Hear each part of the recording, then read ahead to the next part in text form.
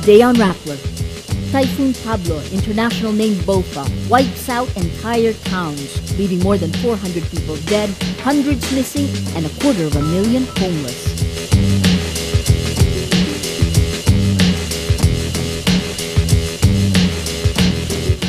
Lawmakers supporting the reproductive health bill predict it will pass Congress next week.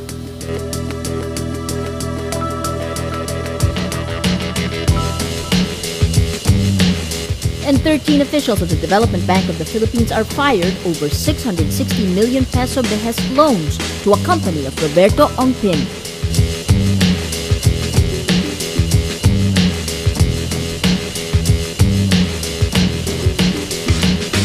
Hello, I'm Maria Ressa. Welcome to Rappler, your social news network. Entire towns are wiped out by Typhoon Pablo, with an estimated quarter of a million people left homeless without access to water and food. Strong winds and flash floods flatten at least three towns in Davao Oriental, Baganga, Boston, and Cateel. Around two-thirds of the dead are found on the east coast of Mindanao, while the rest were recovered in and around New Bataan and Moncayo in Compostela Valley. Many are killed when cut logs, toppled trees, and debris from the mountains comes crashing through homes and farmland. Officials say many victims in New Bataan and Moncayo, both landslide-prone towns, work at unregulated mines in the gold rush area or in large banana plantations. In General Santos City, at least 300 fishermen and seamen are believed to be missing. The death toll from Typhoon Pablo continues to rise, with at least 327 people dead. As of 1 p.m. Thursday, the National Risk Reduction and Management Council also reports 401 people injured and 378 missing. Other estimates of the death toll reach as high as 477. More than 229,000 people across seven regions were affected by the typhoon. Surigao del Sur, Davao Oriental, and Compostela Valley are all under a state of calamity. Despite the tragedy, there are stories of hope. On Thursday, aid workers rescue a pregnant woman and her one-year-old son from floodwaters in New Bataan. They also saved Carlos Agang, a farmer who was trapped in the mud for two days after raging waters wiped out his mountainside home. Agang's family is still missing. Survivors continue to stream into evacuation centers. Pablo weakens as it moves west-northwest. It is expected to be outside the Philippine area of responsibility by Friday. All storm warning signals have been lowered. Compostela Valley Governor Arturo Uy says he did not foresee Pablo's fury. Critics say provincial officials underestimated Pablo's strength and did not take enough measures to protect the people. Compostela Valley is one of the areas hardest hit, with 184 people dead as of Thursday. In the town of New Bataan alone, 85 are killed. A landslide hits the town's evacuation center, which accounts for the high death toll. Uy says the volume of water was unexpected and he wants the cause of the flooding investigated. But Mines and Geosciences Bureau Director Leo Jasareno says some areas in New Bataan should not have been inhabited because these are disaster-prone areas. As the death toll rises, the local government and rescue workers face another problem, finding funeral parlors. Aside from the mud and debris, the stench of dead bodies make rescue operations more difficult. Mahar Lagmay, Executive Director of the government's disaster response system NOAH, says flood simulations for Compostela Valley on Wednesday showed New Bataan is flood prone. Lagmay says residents were advised to leave mountainous areas, but they did not know where to go. President Benigno Aquino is set to visit Compostela Valley in Boston, Davao Oriental on Friday. The House of Representatives fails to vote on the reproductive health bill this week, despite the support of President Aquino. But RH bill lawmakers say they predict the historic passage of the bill in Congress next week. Carmela Fonbuena reports.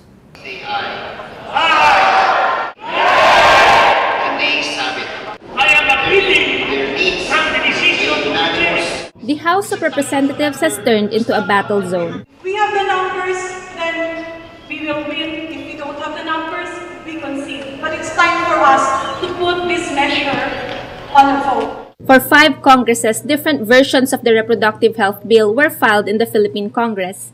It's a long, drawn-out advocacy to provide reproductive health services, including free contraceptives to the poor who can't afford them. Precisely this bill intends to spend 5 to 10 billion pesos to buy condoms and contraceptives to be given even to Catholics, Mr. Speaker. In a country where the Catholic Church is very powerful, leaders play safe and choose not to antagonize the bishops.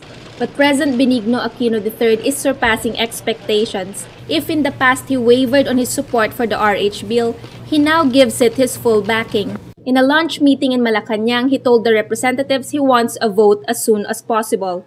But it's not an easy request. I'm sure that the president will understand the, the, the, the what we are undergoing. Kaya, a difference of one week siguro will not, uh, at the end of the day, really make a lot of difference. Critics of the RH bill are putting up a good fight, exhausting all parliamentary tactics to try to insert killer amendments to the bill. I'm in terrible pain, Mr. Speaker. But they are losing the numbers game. We have tested the sentiments of the members and the sentiment would be in favor of the bill. Yes, I'm confident. Pero sabihin niyo Kantol, cautiously confident. The historic vote is expected to happen next week. If it passes, the fight shifts to the Senate. Pro-RH senators say they too have the numbers to pass the bill. Carmela Fonbuena, Rappler, Manila. 13 officials of the Development Bank of the Philippines are fired for granting 660 million pesos in behest loans to a firm controlled by former Trade Secretary Roberto Ongpin. Ombudsman Conchita Carpio Morales says the loans made in 2009 are illegal. The bank officials are involved in two separate loans to Delta Ventures Resources Incorporated, which a Senate committee probed in 2011 to early 2012. The ombudsman says the Ongpin Group used the DBP loans to make fat profits from the trading of Philex Mining Corporation shares, while DBP did not. The Philippines wants to keep fishing tuna in an area near Papua New Guinea. Environmental organization Greenpeace wants a total ban on tuna fishing. Daniel Rudden reports. This is the Greenpeace ship MV Esperanza, and it is now docked in Manila. Greenpeace is a participant in the Western and Central Pacific Fisheries Commission, attended by delegates from 30 countries. The meeting wants to find a solution to tuna overfishing in the Pacific. Greenpeace is calling for an extension of a total ban on tuna fishing. And that's to protect not only the, the ocean and the fisheries themselves, the fish stocks themselves, but also to make sure that the fishing industry has a future, including the, the Philippine fishing industry. The WCPFC banned tuna fishing in certain pockets of the Pacific Ocean to protect the population of yellowfin and big-eyed tuna. The Philippines was granted a special four-month access to High Seas Pocket 1, an area bounded by Papua New Guinea, Micronesia, and Indonesia. The exemption aims to keep Filipino fishing vessels out of local waters to replenish the badly depleted stock of local tuna. During the total ban in 2010, Filipino fishermen resorted to catching juvenile tuna within Philippine waters. The Philippines wants to keep its access to Pocket 1. If you allow us, if you they don't allow us to go to the high seas, we will continue to become an irresponsible fishing nation because we're catching juveniles. But Greenpeace doubts Philippine vessels will abide by the terms of the exemption. Last month, Greenpeace caught the Filipino vessel Sail 19 and two other Indonesian vessels illegally transferring frozen tuna to a Cambodian vessel. Transshipment of fish from one vessel to another is prohibited in international waters. Mid-sea fish transfers has proven to aid illegal fishing. Greenpeace believes the fishing exemption will only set the stage for more illegal transfers. We've seen non-compliance by that fleet that's now back in the in the high seas operating there. So we want to see these areas closed, not just to the Philippines but to all fleets. Pew Environment Group says there are gaps in the enforcement by the International Fishing Regulation Body. There is no comprehensive inspection scheme, no requirement for vessels to provide information before entering port, and no prohibition of port entry to illegal vessels. It seems the International Commission doesn't have the muscle to enforce any fishing ban in the Pacific, partial or total.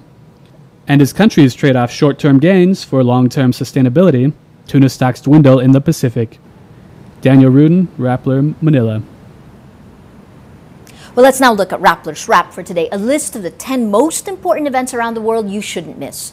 At number two, the Philippines is a battleground in the front lines in the fight against climate change. A UN report says its 7,100 islands rank third in the world in terms of vulnerability and climate risk.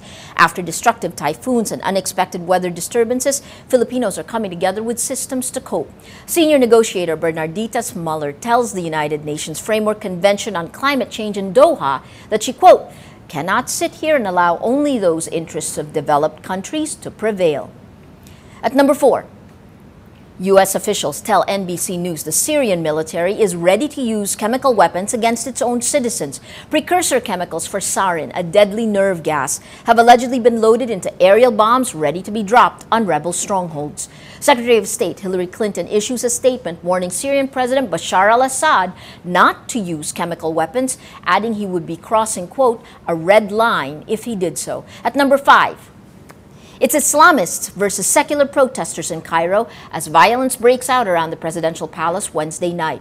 Three senior advisors to Mohamed Morsi resigned during the clashes, blaming the president for the bloodshed. Morsi's prime minister appeals to both sides to dialogue. Periodic gunshots were heard while both camps brandished makeshift clubs and knives. The violence casts doubt about the ability of Morsi's referendum on December 15th to calm the groups.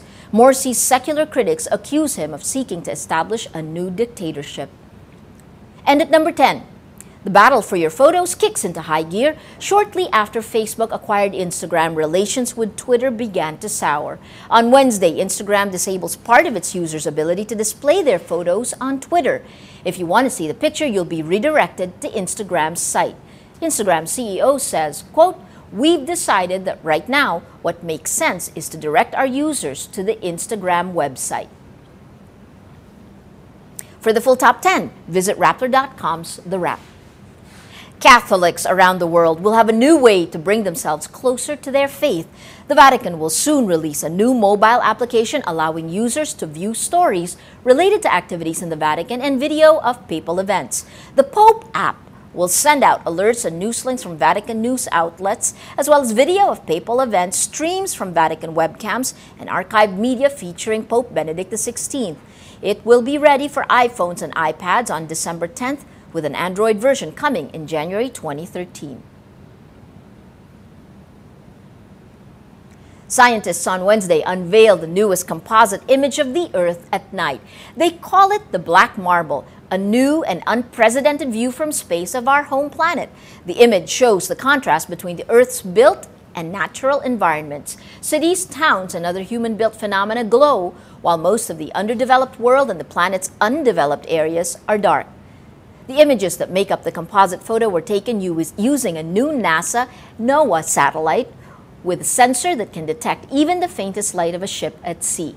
NASA says the data from the images provide researchers with a variety of studies and events, such as Hurricane Sandy back in November and fog forecasting in San Francisco. Every story on Rappler has a mood meter which gives you eight emotions to choose from. Click how you feel and your vote will come down to the mood navigator in the middle of the front page which crowdsources the mood of the day. It also gives you the top 10 stories which have gotten the most clicks, most votes on the mood meter. If we take a look today, a major two stories still continue to, to dominate. Pa Typhoon Pablo at least 274. It's now nearly 400 at 94% sad. Typhoon Pablo leaves at least 325 dead, 85% sad. And we see the RH bill. Senate rejects and Enrile Recto RH changes. Pro RH Solons maintain majority vote, 85% happy, and the story with the most votes on the mood meter. Pro RH Solon shows strength despite stalled deliberations, 81% happy, contributing to the mood of the day. Today, most people are happy. Well, that's Rappler's newscast for today, Thursday, December 6, 2012. Visit Rappler.com and watch our newscast Monday to Friday. Tell us how you feel on our mood meter and help us crowdsource the mood of the day. I'm Maria Ressa. As we say at Rappler, Tomorrow begins today.